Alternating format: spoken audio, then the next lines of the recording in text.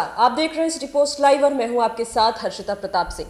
2024 का लोकसभा चुनाव सर पर है। ऐसे में तमाम राजनीतिक दलों के बीच भगदड़ मचनी शुरू हो गई है। आपको बता दें, कल रात ही मुख्यमंत्री नीतीश कुमार को बड़ा झटका लगा है उनकी विधायिका बीमा भारती ने जदयू का साथ छोड़ दिया है और उन्होंने राजद की सदस्यता ले ली है। आपको बता दें, तस्वीरें भी सामने आए। बीमा भारती की तेजस्वी यादव के साथ उन्होंने राजद की सदस्यता ले ली तो वहीं उन्होंने जेडीयू का साथ क्यों छोड़ा? इसकी वजह बताती भी नज़र आ रही थी। आपको बता दें, बीमा भारती का साफ़ तौर पर आरोप है कि मुख्यमंत्री नीतीश कुमार के आसपास कुछ ऐसे लोग रहते हैं जो अति पिछड़ों का काम नहीं बनने देते। अति पिछड़ा होने के कारण उनकी बातें नहीं सुनी जा रही थी, उन्हें प्रताड़ित किया जा रहा था और यही सबसे बड़ी वजह रही कि उन्होंने जदयू का साथ छोड़ दिया और राजद की सदस्यता ले ली। इस पूरे मुद्दे पर क्या कहती नज़र आ रही है बीमा भारती? हम आपको वो सुनाते हैं। नेता विरोधी दल जो आदरणीय तेजस्वी जी है, उनसे जो हमारे भाई हैं उन्होंने आश्वासन भी दिया है। और माँ राबड़ी देवी उनसे भी सर्वाद मिला। सभी से सर्वाद मिला है। और मजबूती के साथ मुझे मौका दिया जाएगा पूर्णिया से लोकसभा लड़ने का तो मजबूती के साथ लड़ेंगे। अच्छा नाराज़गी की वजह क्या थी? जो फ्लोर टेस्ट के दौरान आपने जो कहा कि हमें परेशान किया गया पूरे परिवार को परेशान किया जा रहा था। परेशान तो किया गया है इसी है जो अति पिछड़ा से हम आते हैं इसीलिए हमको जो है कि दबाने का काम किया प्रताड़ित करने का काम किया और जो हमारे माननीय मुख्यमंत्री जी हैं, बहुत अच्छे व्यक्ति हैं और हमारे अभिभावक हैं, गार्जियन हैं, जो उनको, जो बरगराने का काम करते हैं अति पिछड़ा का कोई भी नेता उसमें सटे नहीं और उनके करीब नहीं रहना, रहने देना चाहते हैं कुछ लोग। इसलिए हम लोग का कोई बात नहीं सुनने का काम करते थे, कोई भी बात कहते थे तो नहीं सुनता था। कोई भी काम हो, क्षेत्र का हो, चाहे कुछ भी हो लेकिन कोई भी रिस्पांस नहीं मिलता था।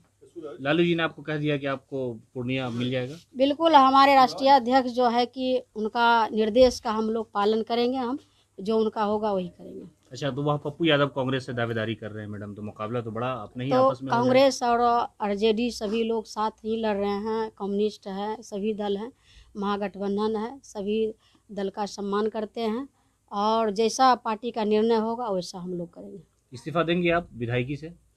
विधायक से पहले तो जो गया है वो इस्तीफा देंगे ना। इसके बाद ना? इस्तीफा का कहाँ बात हो रहा अभी? आप विधायक रहेंगे अभी भी? बिल्कुल रहेंगे। इस्तीफा नहीं देना सब पर होगा तो सब पर होगा कार्रवाई। अच्छा, मुख्यमंत्री नीतीश कुमार से नाराज़गी थी आपको?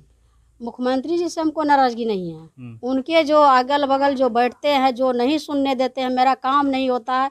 जो कुछ लोग आयस है जो काम नहीं होने देता है क्षेत्र का कितना है जो हमारे क्षेत्र में विकास होना चाहिए उस तरह से विकास में बाधा हुआ। और जनता जो है कि जिस तरह से हमको जिताने का काम किया एक बार नहीं पाँच बार। 2000 ईस्वी से निर्दलीय से लेकर के जीतते आ रहे हैं। और उस उम्मीद से हम लोग सरकार में है कि ज़्यादा से ज़्यादा विकास करे क्षेत्र में उस अनुसार विकास नहीं हो रहा था। पूर्णिया में कितने वोटों से जीत सकते हैं? अनुमान कुछ लगाया आपने? पहले तो टिकट मिल जाए इसके बाद बताएँगे। चलिए तो ये थी हमारे साथ बीमा भारती। उन्होंने साफ़ तौर आप सुन रहे थे बीमा भारती को। कल रात ही उन्होंने जेडीयू का साथ छोड़ दिया है, राजद की सदस्यता ले ली है। हालाँकि उन्होंने साफ़ अभी कर दिया है कि वो इस्तीफा नहीं देंगी। साफ़ कह रही थी कि जिन लोगों ने पहले छोड़ा था, पहले उन लोगों के बारे में बात हो, अभी इस्तीफा देने की कोई बात है ही नहीं। तो वही उन्होंने कहा कि अगर उन्हें पूर्णिया से टिकट मिलता है तो वो पूरे मजबूती के साथ चुनाव लड़ेंगी और कहीं ना कहीं ये कहा जा रहा है कि इसी उम्मीद में उन्होंने जदयू का साथ छोड़ा होगा। हालाँकि उनका साफ़ तौर पर यह आरोप है कि मुख्यमंत्री नीतीश कुमार के आसपास कुछ ऐसे लोग मौजूद हैं। जो अति पिछड़ों की बात सुनने नहीं देते हैं। और यही सबसे बड़ी वजह है कि उन्होंने जदयू का साथ छोड़ा है। कह रही थी कि नीतीश कुमार के लिए उनके मन में सम्मान है, लेकिन उनके आसपास कुछ ऐसे लोग हैं जो उन्हें अति पिछड़ों की बात नहीं सुनने देते हैं। उन्हें प्रताड़ित किया गया है जदयू में उनके अति पिछड़ा होने के कारण। तो वहीं फ्लोर टेस्ट के वक्त भी उन्हें काफ़ी परेशान किया गया था।